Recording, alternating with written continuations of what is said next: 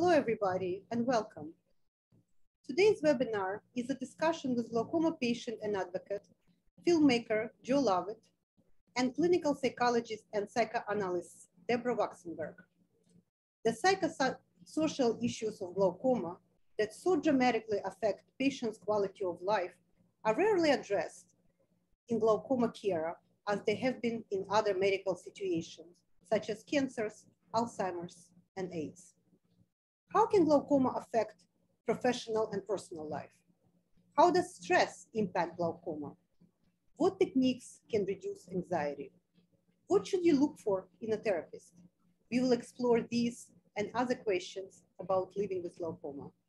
I'm Elena Sturman. I am the president and CEO of the Glaucoma Foundation.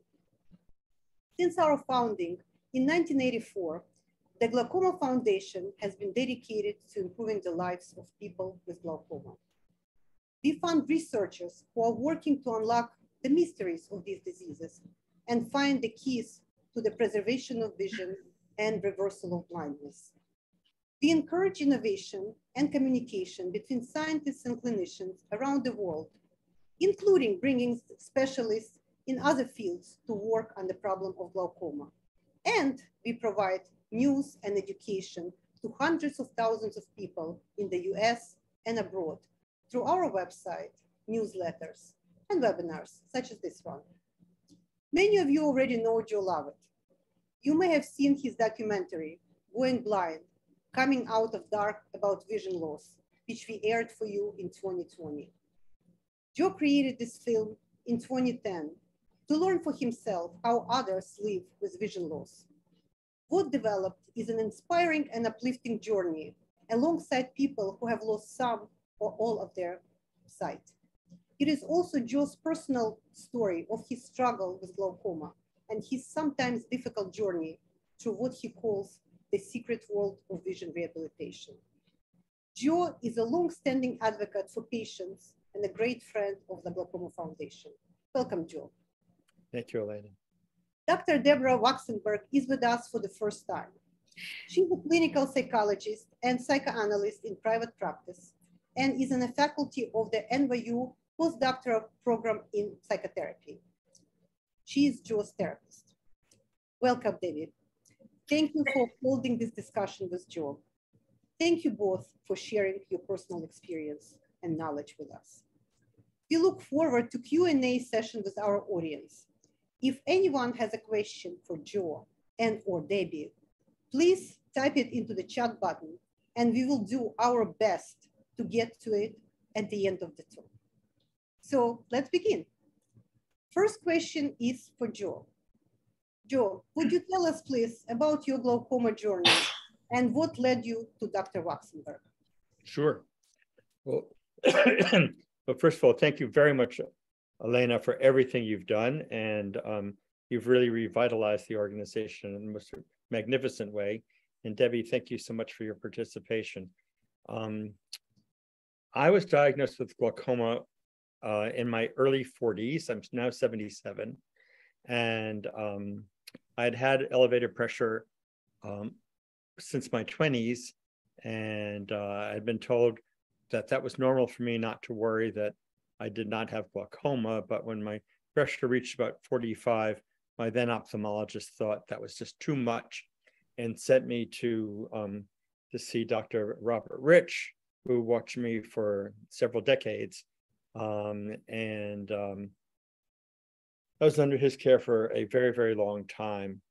Um, and it's been it's been quite a journey. Um, you know, at first you don't take it too seriously, and uh, you know, you think of glaucoma as a, most of us think of glaucoma as a benign disease, where you take a few drops and you're fine.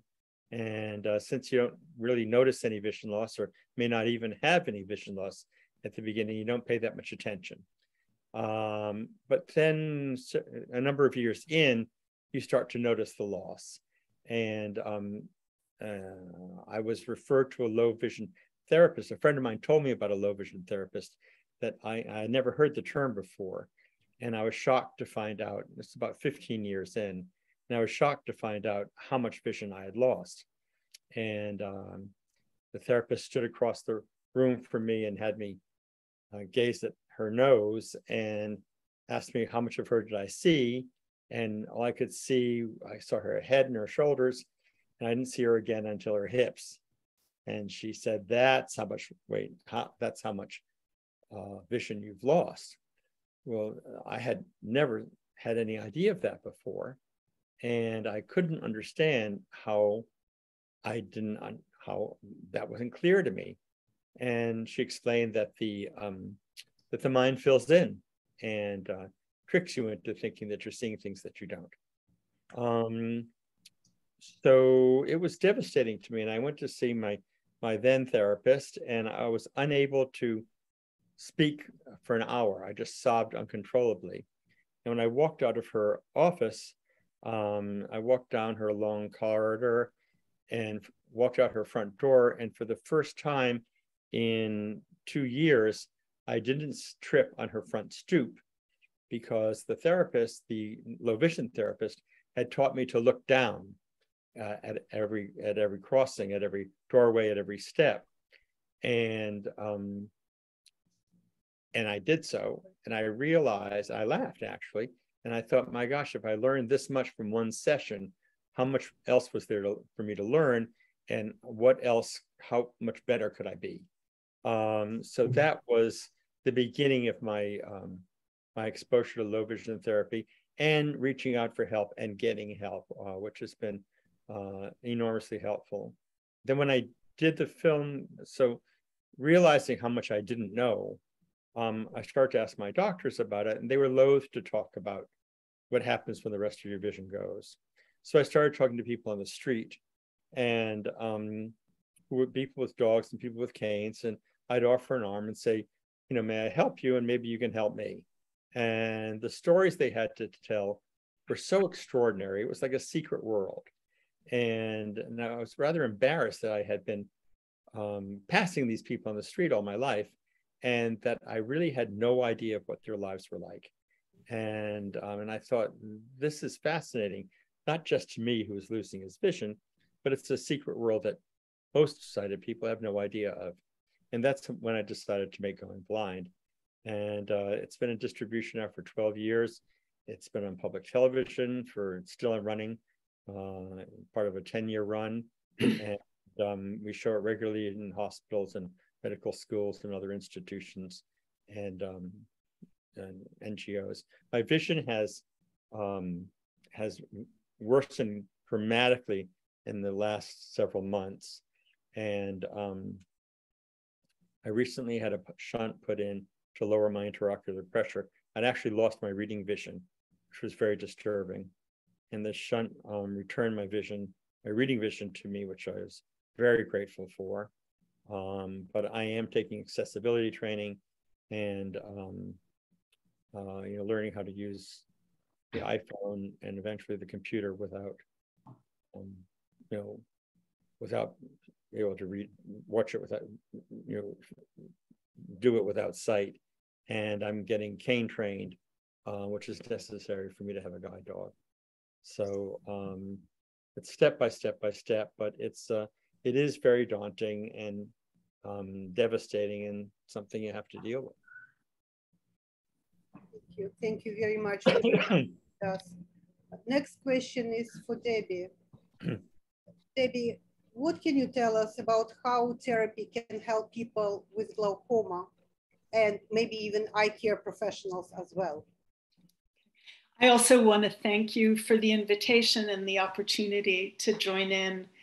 Um, therapy can be helpful in a number of ways, uh, creating space for dealing with loss and feelings of diminishment around function, independence, sense of identity, which people often feel they have to protect their intimates from and protect a strong face. Therapy can also help differentiate depression from grief, identify strategies for dealing with anticipatory anxiety, and um, emphasizing what strengths people still have, differentiating low vision from low capacity as a person, and differentiating acceptance from resignation.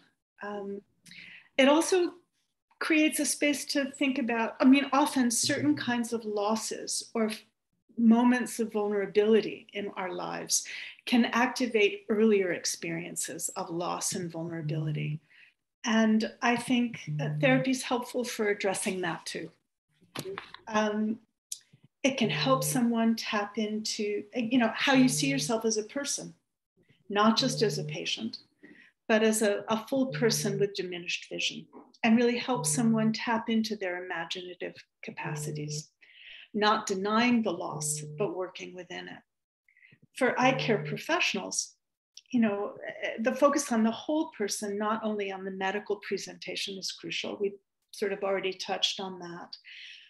Really, if you have the time to look at what, what does vision loss mean to them? And I think from, from the care provider's perspective, it's very hard to stay close to the loss of function in someone you care about, especially when, when you're powerless. You know you can you can ameliorate it but there's no treatment for glaucoma. And so to dedicate your professional life to something that kind of doesn't have a future is diminishing for the professional. And often there's um, taboos against professionals getting help and support around that. Um, we have to be able to reckon with our own losses as healthcare providers um, to be empathic, we need to lean into those feelings. And I know from the work with Joe, um, my grandfather had period. I, he died before I was born, but he went through periods of, of vision loss, and it really this experience of working with Joe has helped me go back to my mother, who's still alive, and find out more about how how it affected their family, um, and and how that's kind of come through to affect our family also. And and that's just important. Thank you so much. So beautifully answered. Thank you so much debbie. Uh, joe next one is for you. How has glaucoma affected your professional and personal life? And how have things changed over the years? Well um, honestly it hasn't affected my professional life very much at all um, I had an interesting experience. Uh, I was hired, a friend hired me to do a job for a, uh, a major Fortune 500 uh, uh, company, a large job that would take quite a long time. And it was a major branding kind of thing.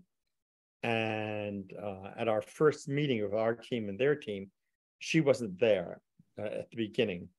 So I walked in with my, and we hadn't seen each other for quite a while. So we walked in, and uh, my team and to meet their team, we sat, we started meeting, throwing ideas around, et cetera, et cetera, et cetera. And when she did finally walk in, um, she walked over to me and she said, "Hi, Joe, it's Anna Maria," and but she said it in a way like I might not know who she was, which I thought was odd. And then I realized she thought that I might have lost so much vision that I wouldn't have recognized her.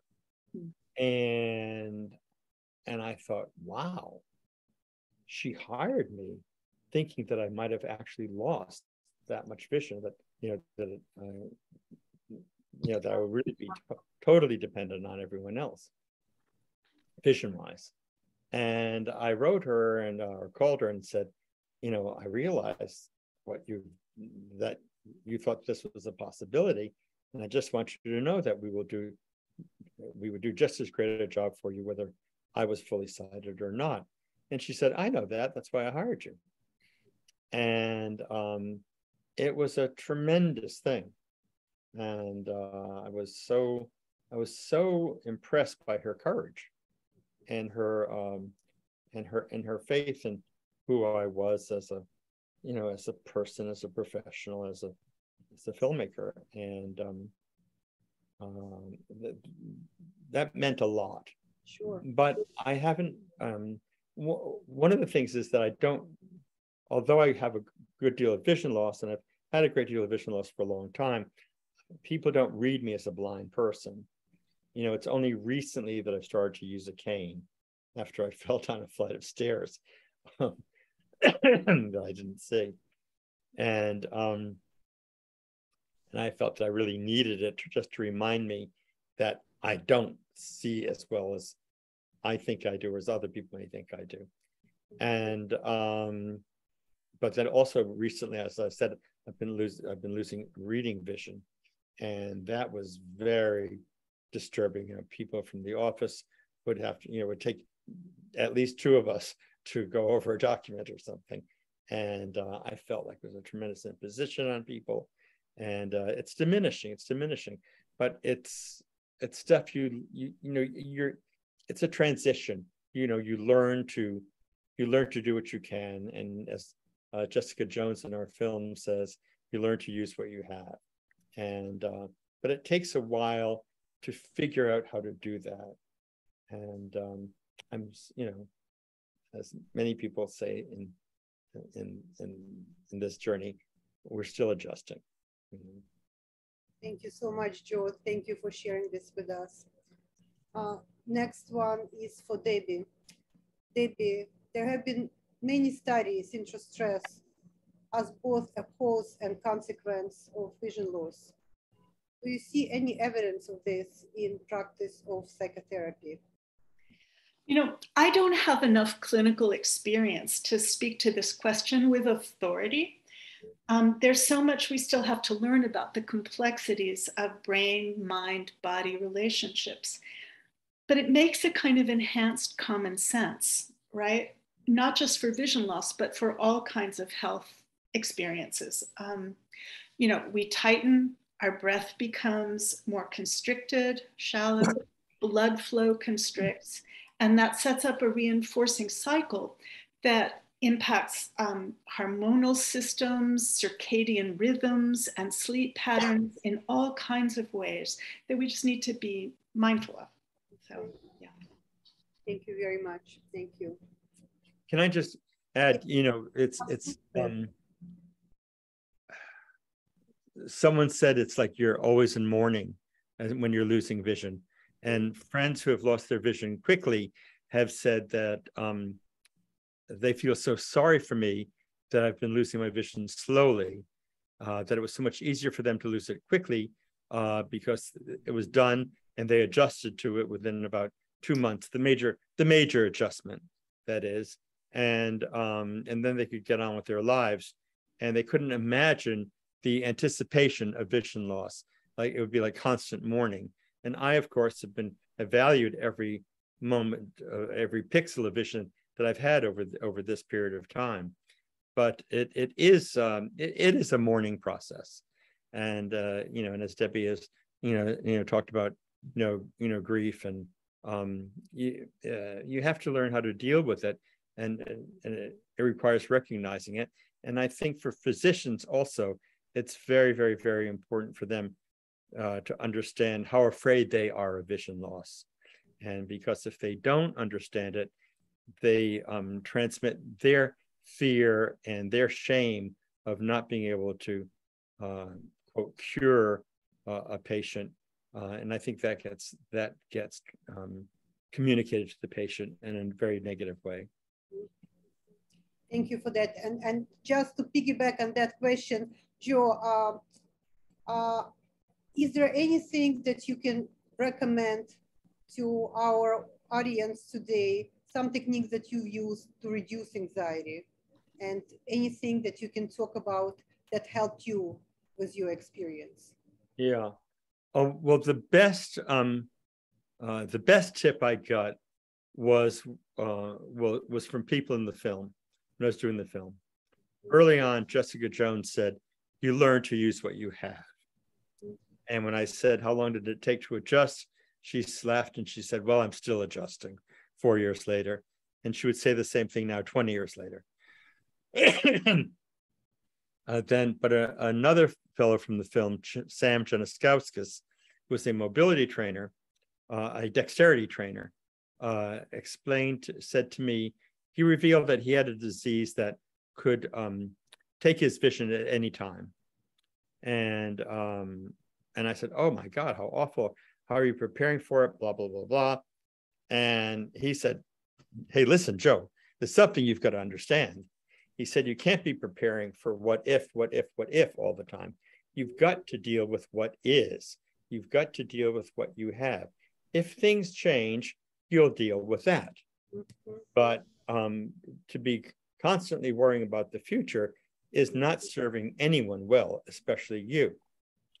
And he summed me up in a moment because what I had been doing was every time I'd lose a chunk of vision, I would um, I would get hot and clammy and thinking, oh my God, you know, what else is going to go and how is that going to go and where's it going to go and what will I be able to do? What, I, what, won't, what won't I be able to do? Blah, blah, blah, blah. You know, rather than just absorbing the loss and saying, well, that's not great. Um, but how has it really affected me? Has it really impaired my way of life in any particular way? Usually it didn't. And um, then later on, it started to. And then at, at, that point, I had to say, okay, so what's the workaround? Let's figure out the workaround. And that was very, very, very important. And just to learn in the present. You know, I'm taking cane training lessons now. And um, I go to the corner and I can see the light. I'm not efficient to see the traffic light. I can see the curb. But I was saying to myself every time I got to the corner, but what if I couldn't see the light? What if I couldn't see the curb? And my trainer said, listen, you've lost enough vision. You qualify. Don't worry. You're plenty blind enough. you know, she said, um, if things get worse, we'll train you, you know, about, about it. But in the meantime, the fact that you can see the light is fine. The fact that you can see the curb is fine. You don't have to, you know, um, create this scenario of a worst case scenario. That's so wise. Focus on the present. Yeah. Thank you very much. Uh, next one is for you, Debbie. Is there anything you can recommend to patients and caregivers that might improve a patient's quality of life uh, and the prognosis of glaucoma? Right. Um, so I want to just loop back to stress for a minute, if I can, because I think of course. The, the, that anticipatory anxiety is like you are always being chased by a tiger, right?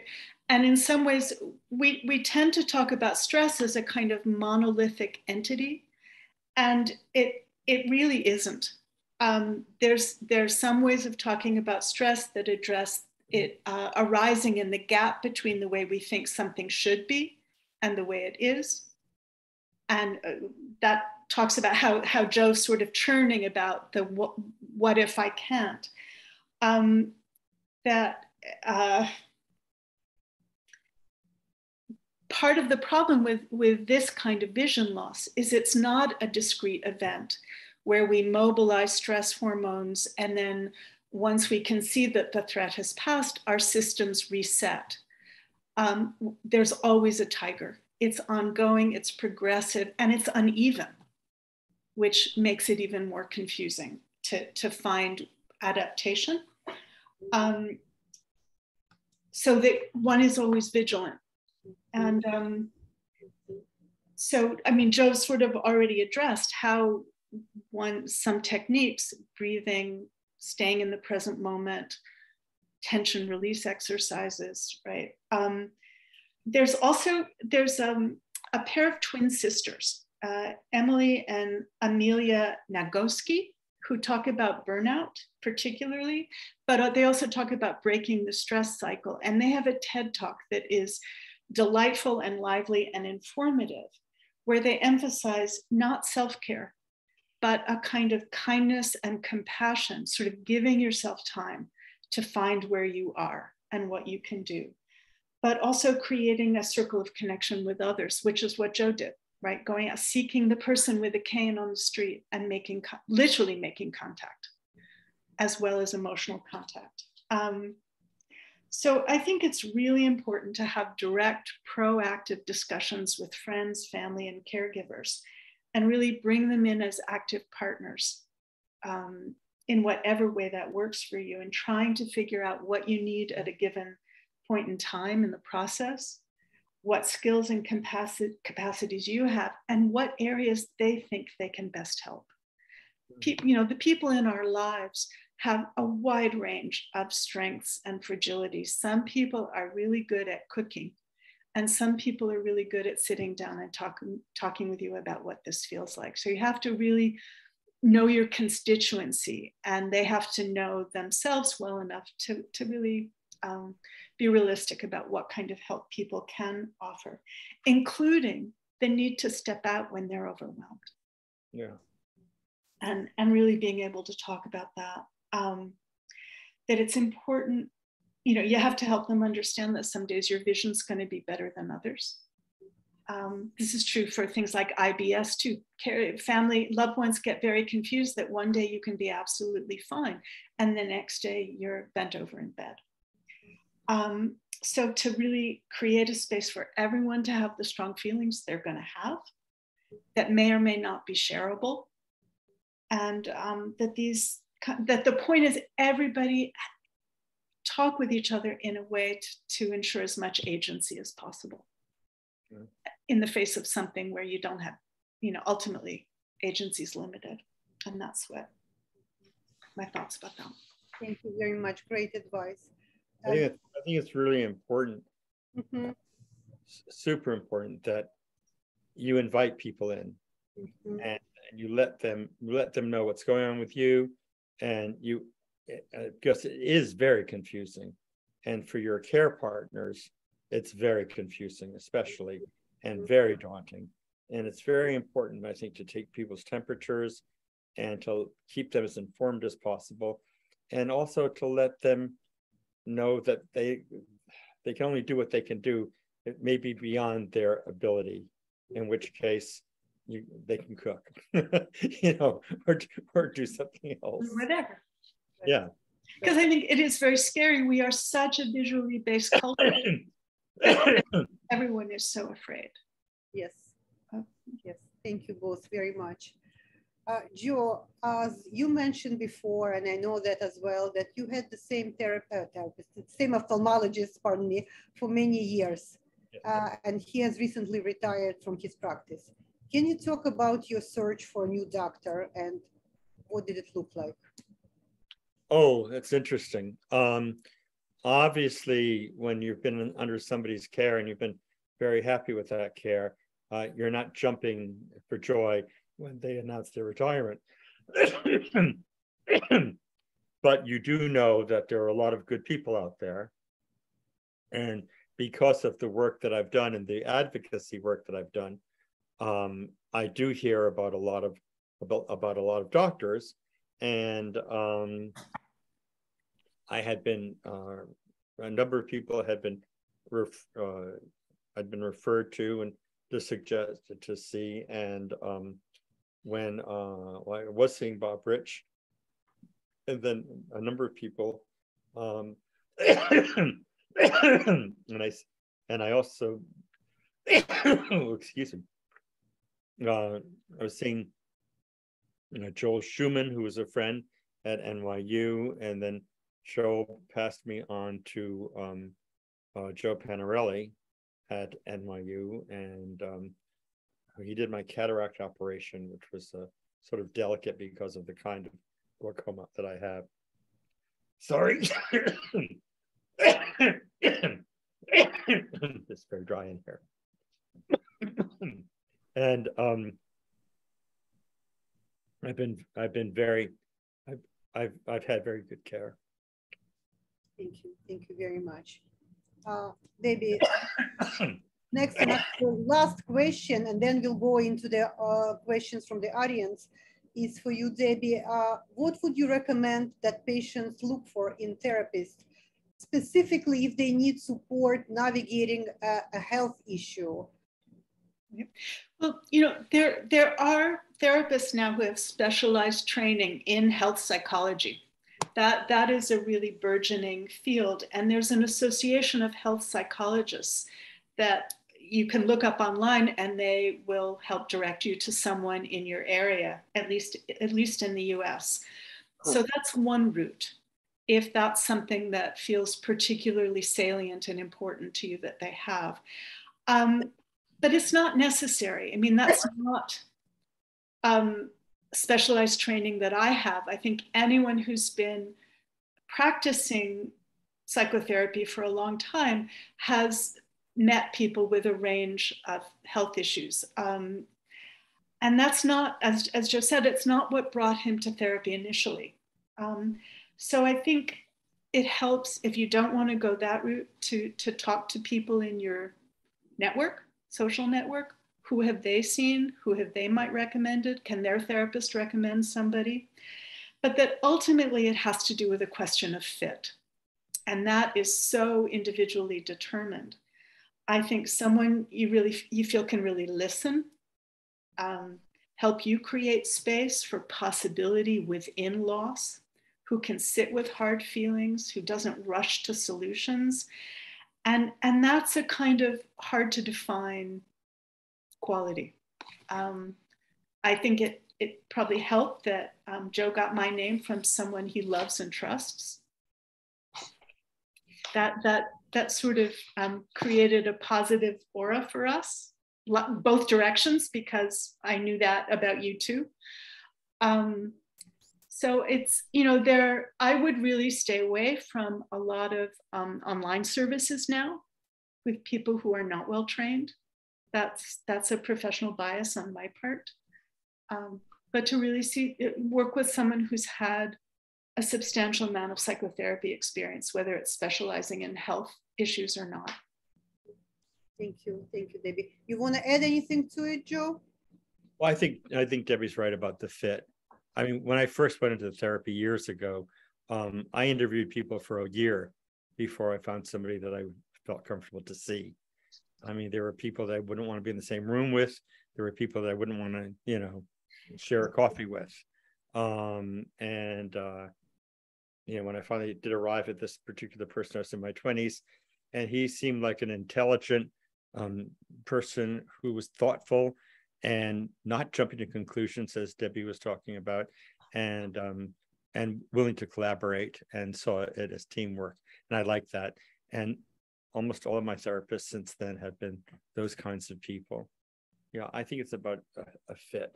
And everybody, of course, is different as to what what they like. True, that's so true. Well, thank you both so much. These were our prepared questions, and now we'll go into questions from our audience. And there is one question that I see being asked several times. And Joe, can you please talk just a bit about the movie, the name of it, and where it could be found? Apparently, not everybody saw it when the Glaucoma Foundation aired it for our constituency. So please talk about it. Sure. Okay. The film is called Going Blind Coming Out of the Dark About Vision Loss. And you can go to our website, www.goingblindmovie.com and you can uh, download it off that website. www.goingblindmovie.com i think it's four or five dollars or something. Yeah. Thank you. Thank you. And the, and the website by the way goingblindmovie.com is a very informative website. It has a lot of resources on it uh, and Debbie, this question, you also answered it, but would you please repeat it? So the question is that there are waiting lists for therapists. Can you recommend a licensed therapist or professional that are familiar with patients who are blind or have vision loss? And I know you mentioned that there are specific right. health therapists.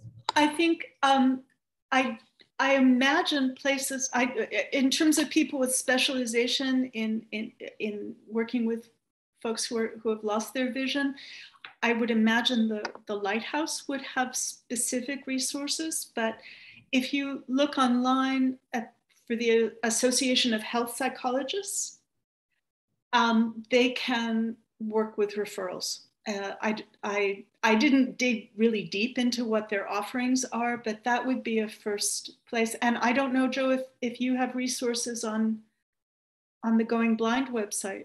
I haven't looked recently, but yeah. we should. But attend. I, you know, I can I can do some research and I can let Elena know what I found, and then she can share it with people who are interested. Can Perfect. do it that way too. Perfect. One place I do know, and, and you mentioned it, Debbie, Lighthouse Guild does offer therapy, but it, of course it's local to New Yorkers. They have uh, a few satellites, but it's all in New York State. If it's outside of New York State, and I don't know where uh, the person who asked the question is from, but if you are in New York, Lighthouse Guild is a great resource. The various state commissions for the blind might be good places to try for referrals. Mm -hmm. Thank you. Uh, this next question, I think uh, both Joe and Debbie should try to answer. Uh, my glaucoma specialist is excellent medically. He brushes aside my fears.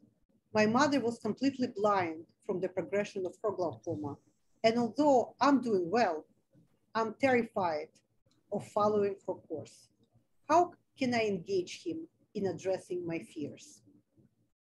Oh boy. Yes, um, that's a tough one. That's a tough one. I, I, you know, the, the fact of the matter is, is that everyone is terrified of blindness. Everyone. And every individual, every physician, everyone. And physicians maybe carry a, a special fear because, as I say, it represents failure to them. And um, when I talk to when I talk to professionals, when I talk to medical schools, um, I you know I try to I, I try to address this and to make them help them to understand that uh, their inability to save somebody from progressive vision loss is not quote failure. You know that's just the way things are. It's like it's like keeping somebody from aging. You know you can't you can't do that sometimes. Sometimes. Usually, um, unless you have a picture in the attic. So um, I think it's very important for the for the uh, highly trained and paid uh, professional to understand that, and um, uh, I really feel that should be in their training. I think it should be discussed more and uh, it's it's it's very unfortunate to hear to hear this question um, because it shouldn't be the patient's duty um, to to have to educate the doctor but i do think it's worthwhile for her uh, to say um, i got i have to i need two minutes to talk to you about this um, because uh, it doesn't it's not helpful to me and i'm sure it's not helpful to your other patients Debbie, you want to add anything to it? Yeah, I mean, it occurs to me that I, I agree with Joe. I think here's, it, it takes a lot of gumption to talk back to somebody in a white coat, right? And especially when you're scared and they don't seem to, and, and they're hard to engage around it but I, I think Joe's suggestion is an excellent one. I think sometimes also in a particular practice, if there's um, a different kind of person in the practice, sometimes like the assistant or the nurse practitioner in a practice is, is gonna be more available. And I would suss out if there's somebody else in the practice who's knowledgeable, but might be a little more accessible as another option. But I think one of the one of our problems, uh, you know, our topic here is, you know, the psychosocial aspects of uh, glaucoma, and I think one of our problems is that these things are not addressed, and this is a perfect example.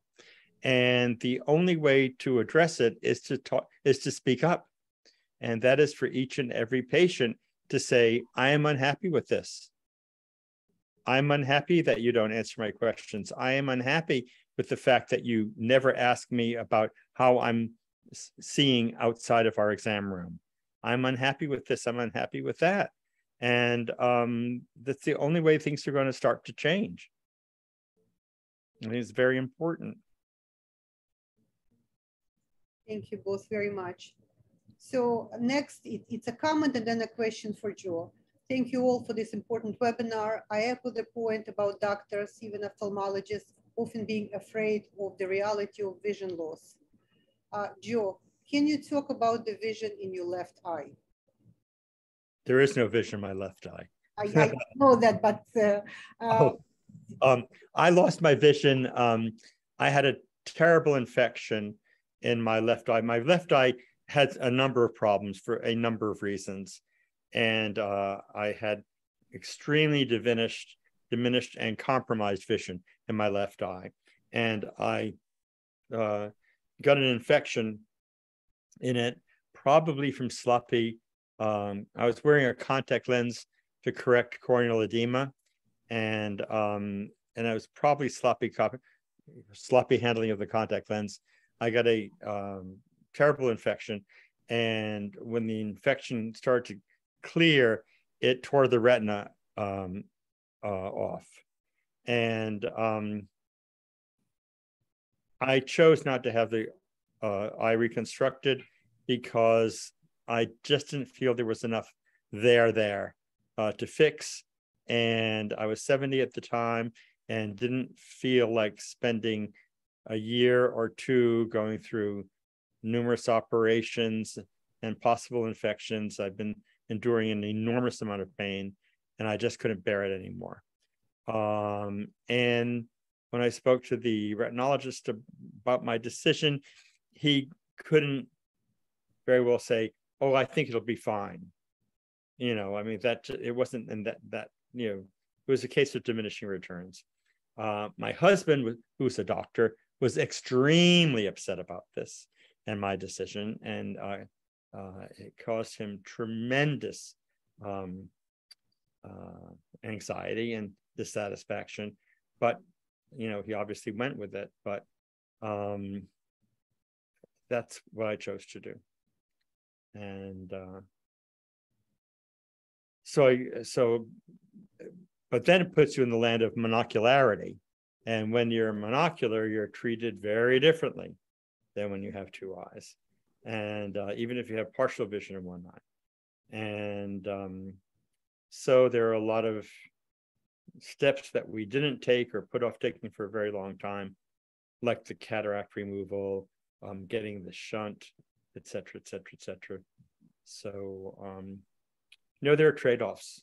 My feeling is basically that you have to do what's what feels right in your gut. You do your you do your due you do your due diligence and you see what what makes sense to you and um and then if you if things go well um going to say yay for me if things go badly you can say well that's what i chose to do Whereas if you get talked into something that you don't feel good about and things go badly, you're going to be kicking yourself as to, to the fact that you did it. And um, that's how, how I've tried to navigate. Thank you very much. Thank you. Next question is, uh, are there support groups for people who are blind and how could I find one?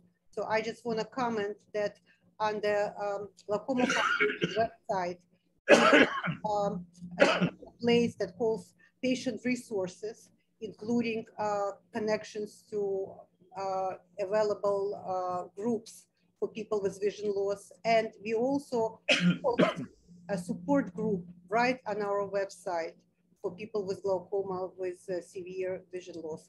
So if uh, Joe and Debbie, you have any other comments uh, about how one find a support group please share them. I, I think you are the place to, to start, right? I mean, it's, it's wonderful what the web makes possible for us in terms of finding resources, but you can, but it's also hard to go cold into this territory when you're feeling so vulnerable. Mm-hmm. You have to glaucoma support and education group at Mount Sinai, right? Yes. Because, yeah. And we also have an online one uh, glaucoma support group right on our website where people can connect to each other and it's it's very easy. Great. Um, another question about how people can see your movie, Joe. Yeah. Oh, um, once again, uh, our link is www.goingblindmovie.com. And if you go there and uh, you can download the uh, the film there um, and stream it.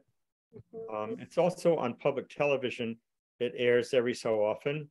Um, but if you want to see it, you know, sooner than later, it just costs a couple, couple of dollars on that website. Thank you. Uh, next question is also for you, Joe. How does monocularity negatively affect you? Oh, where do you want me to start? Back. well, at the beginning, it was quite a shock. Um, I was surprised at what an effect it had on me.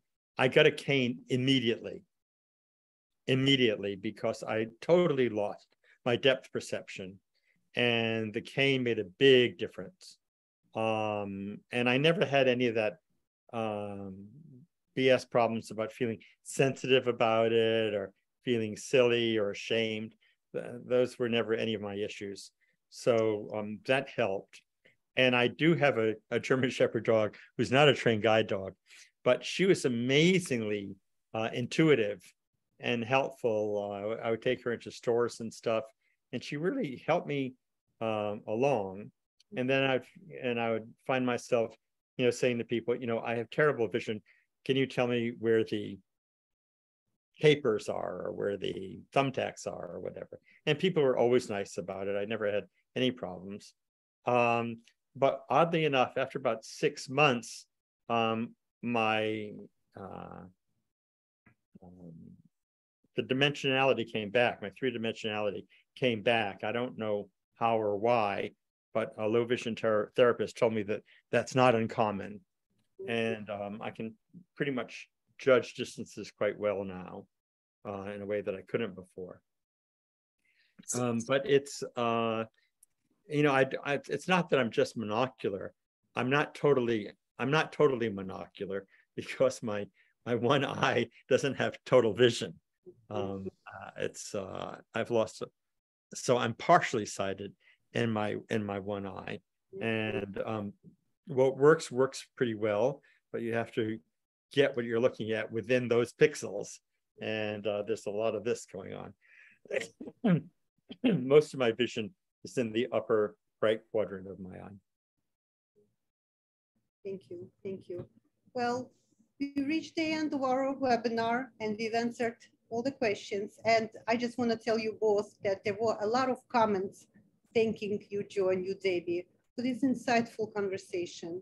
And of course, I wanted to echo all of our constituents' messages, those who wrote and those who didn't, thanking you both for this discussion, for your openness, for your willingness to share, and talking about this very important issue that is not being addressed enough.